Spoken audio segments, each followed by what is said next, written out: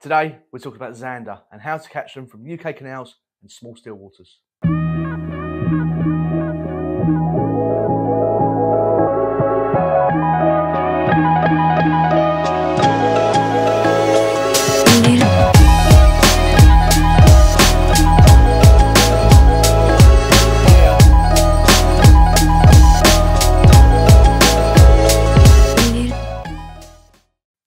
Today, we're going to cover everything rod, reel, mainline, leader, tactics, baits, hooks, everything. But we're going to start off, we're going to talk about the rods.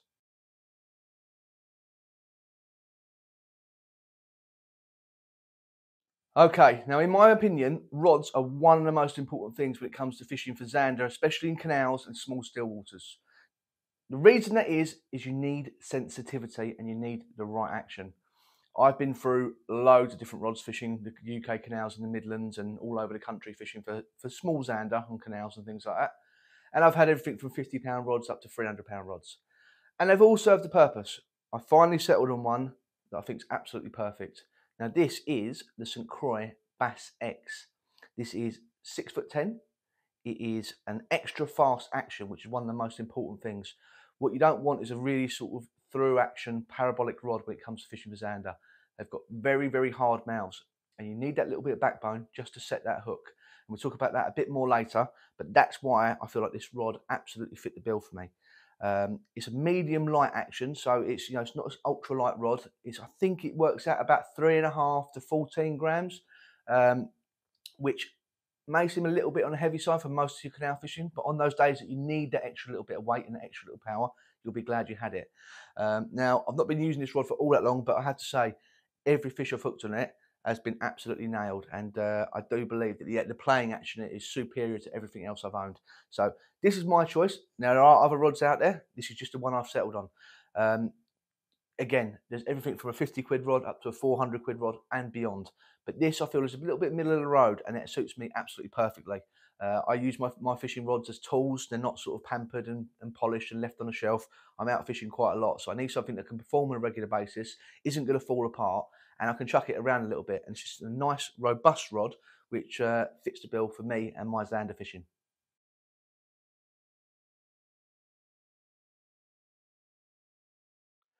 Next up, your reel. Now, this is something I change and chop quite often, but at the moment, I'm using a 1000 size Shimano Vanford. Um, I don't put a lot of onus in reels, you know, you can obviously go out and spend a fortune on reels. I don't really see the need. A lot of the sort of middle of the rangey reels nowadays have got absolutely perfect workings on the inners. Uh, the drags are good, the line lays good, the retrieve ratio is what I'm after. I can't really, for me and my fishing, warrant going and spending four or five hundred pound on a reel. If you can, great. It's not for me. Um, I, I, say I flip and flop. There's some other reels that I use are much cheaper than Vanford. This is just the one I've got on, on at the moment. It's the right size. It's nice and light. Holds the right amount of line for what I want. The retrieve ratio is good. This just suits me and my fishing, but I will swap and change depending on maybe I'm fishing a small river or a larger canal and things like that. I might up the size. Uh, I might want to change the retrieve ratio. But at the moment, this is what I'm fishing with, and it suits me just down to the ground.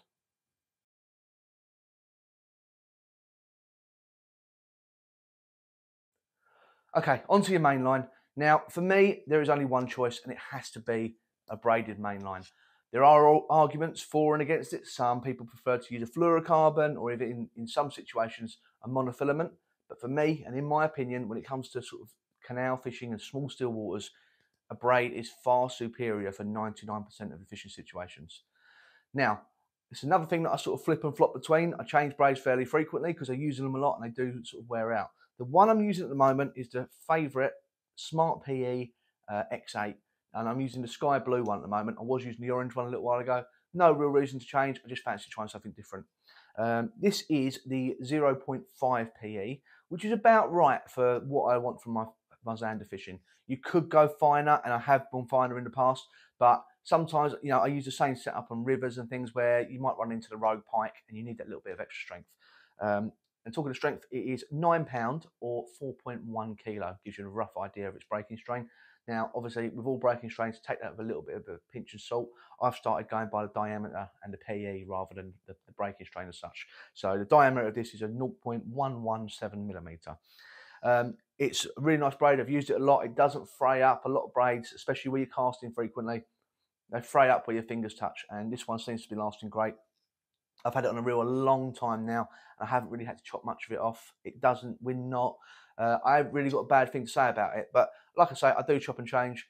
It's not the cheapest of braids. I think it's about 30 odd quid a spool most places. Um, but I have used more expensive braids like the YGK G Soul, which is lovely um, and some cheaper braids as well, like the Daiwa J braid and things like that. This sort of one is sort of somewhere in the middle for me, uh, and I'm really enjoying using it. And uh, like I said, can't say a bad word, but it is very much personal preference. And what I recommend is get the breaking strain right or your diameter, and then try a few brands, see what you see what you land on. This is just the one I'm using at the moment.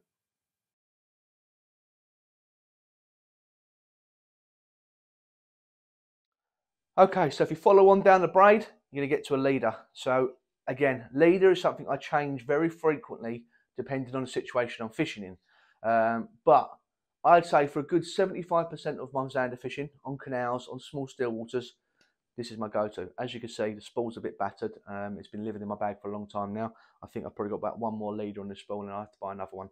This is the Seaguar Reel Soft in eight pounds or 0.235 millimeters or 3.63 kilos.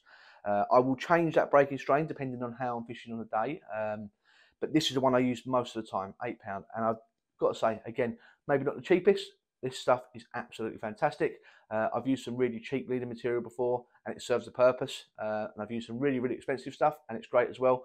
I just think this is really fits the bill for me and sits in that sort of middle ground. It's a bit of an ongoing theme with me. I don't like the really cheap stuff. I'm not a big fan of the massively expensive stuff. I like the sort of average down the line, and the Seaguar stuff, the reel soft, really fits the bill. There are times I might want sort of a tougher leader material, something maybe a little bit stiffer. Uh, in that situation, I usually go to the Gunki Ice fluorocarbon. Um, similar breaking strains, similar diameters, just a different purpose. This the Seaguar stuff is lovely and supple. The Gunki stuff is a little bit stiffer and a little bit more abrasion resistant. But sort of horses for courses on a day, depending on where I'm fishing and how I'm fishing, with what what uh, tactics will depend on what I'm using. But yeah, the Seaguar, reel soft. That's my go-to at the moment.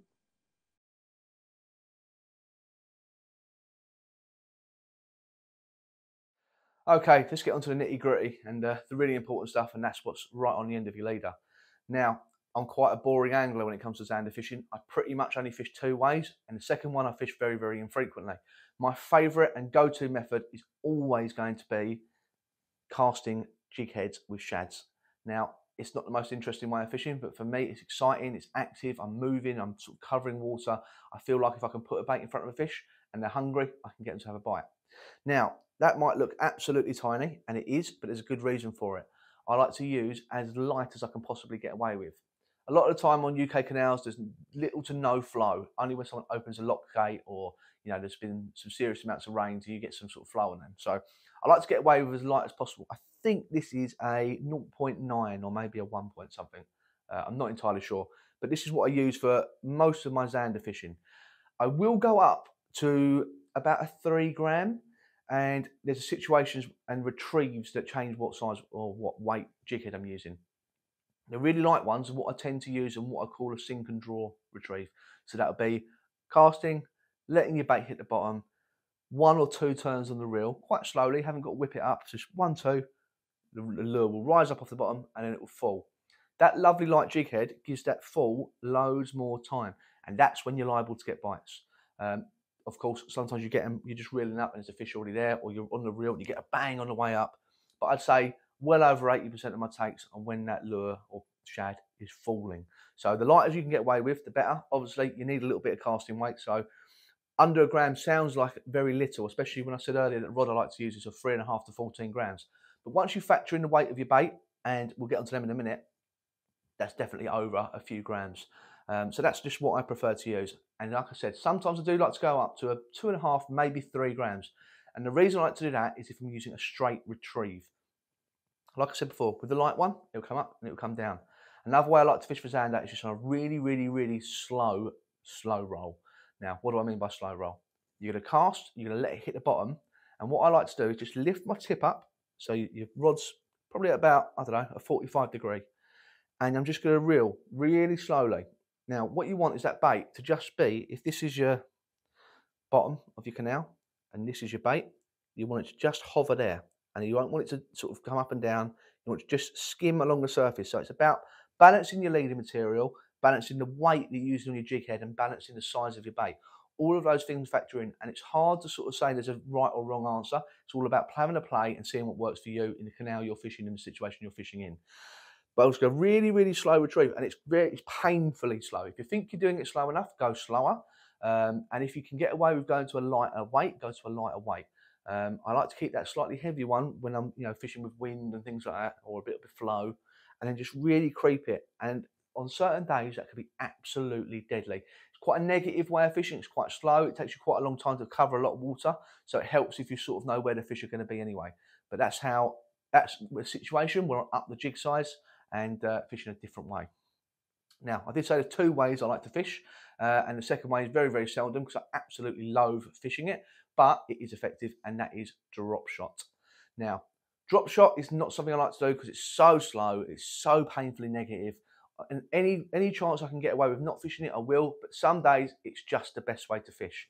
Now, with you can fish exactly the same baits as you do a jig head, just on a drop shot. And you remember what I was saying about hovering it? Very easy to do that with a drop shot because you can set your hook at a certain distance from the lead and just slowly drag it along the bottom. Now, that's not the way I, I usually fish a drop shot because I would generally tend to fish a jig when that situation arises. I like to fish drop shot when I feel like Zander are going to be holding around structure like boats or lock gates or you know underwater structures, anything like that. Anything I feel like the Zander are going to be bunched up in one area and I can keep my bait in the strike zone for longer. Again, down to the nitty gritty, what you're going to use. So these are the hooks that I prefer to use my, hook, my drop shot. Size will change depending on size of bait. These are the Quantum 4 Street drop shot hooks. I think this is a size 6 or maybe a size 4. What I like about these is a few things. They've got a nice welded eye, so there's no chance of your line getting caught on the inside of the eye. They're incredibly sharp, and I, I will try and take a little bit of a close-up of this, but there's a, a small painted section just on the bend of the hook there and the way I sort of nose hook a lot of my baits, what it does, it just helps hold it where you want the bait to sit. Uh, and yeah, these are absolutely brilliant. I've used these for lots of different situations, but especially for drop shot in the UK sort of canal zander, they're absolutely perfect.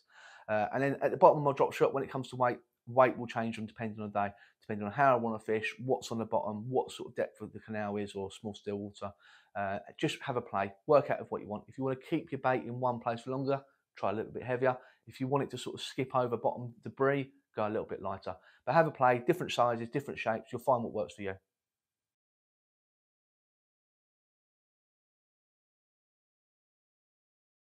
Okay, so now we're going to talk about something that is absolutely not a secret if you follow any of my social medias, and that is my number one all-time favourite UK canal Zander bait, and that is the Keitech Swing Impact Fat in black and 2.8 inch.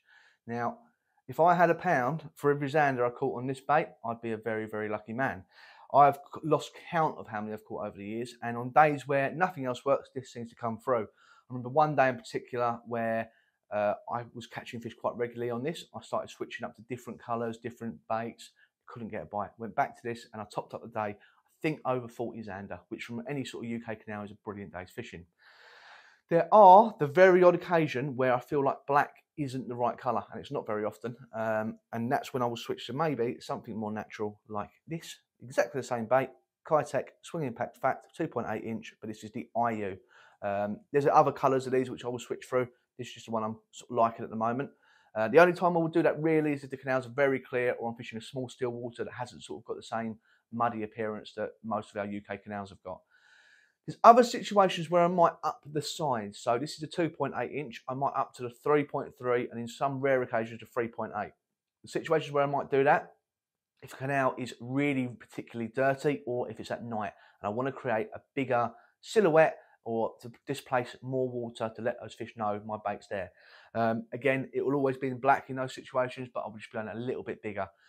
These baits, or this bait in particular, I could not be without, and it terrifies me when I'm running low on them. Um, this is without doubt my go-to and it's the first one out of my bag absolutely every time.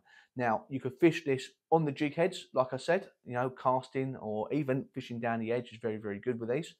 And you can also fish them on the drop shot, just dragging them along the bottom very, very slowly. That wrist on that tail is very, very, very fine. And it doesn't take a lot of movement to get that thing moving and let the zander know they're there. So that is my absolute go-to when it comes to zander baits. There are some situations where the Keitech swing impact fat isn't ideal, and it isn't very often, but this is what I go to instead. If I'm fishing the drop shot and I want to fish it pretty much static or hanging around a structure like I was talking about earlier, then I might opt to fish a small-ish creature bait on the hook of a drop shot. Now, there's a couple of sort of my go-tos. I will sort of chop and change. Uh, I like to try new things when it comes to, to anything in lure fishing, really. But uh, these are those, one of those things that will cycle through. At the moment, I've got two go-tos. This is, I'm going to hold this up for the camera, but I will try and do some close-ups as well. This is the Spro Hog in the 55 mil. There's also a 70 mil which I will use, and I will vary the colour depending on the clarity of the water or how I feel like the fish are feeding. Um, this is the red and black one. I think it's called a crayfish, something or other, uh, which is quite a lovely, quite a nice uh, bait for canals. Uh, and sometimes I'll switch to there's a pink one and there's a yellow, bright yellow one, and there's some natural ones as well. So depending on the situation, I will change the colour list and change the size. If I want a chunkier presentation or a bait with a little bit more presence and I want it to sort of move a bit of water, then this is, tends to be my go-to. And this is the Z-Man TRD BugZ. Now this is in mud bug colour, I think. Um, and again, on a drop shot, it's absolutely perfect. You can see those appendages at the back. You know, it won't take a lot of moving to get those things twitching and, and grab the attention of a nearby zander. Uh, that little bit of bulk in the body, again, moves a bit more more water than the, the Spro hogs. And that's when, you know, if I feel like that's the, the need for that in that situation, that's when I'll jump over to this.